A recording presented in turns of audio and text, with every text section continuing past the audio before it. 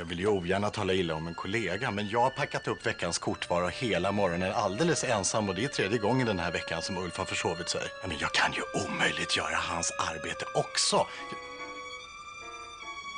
Jag har redan tagit hand om det.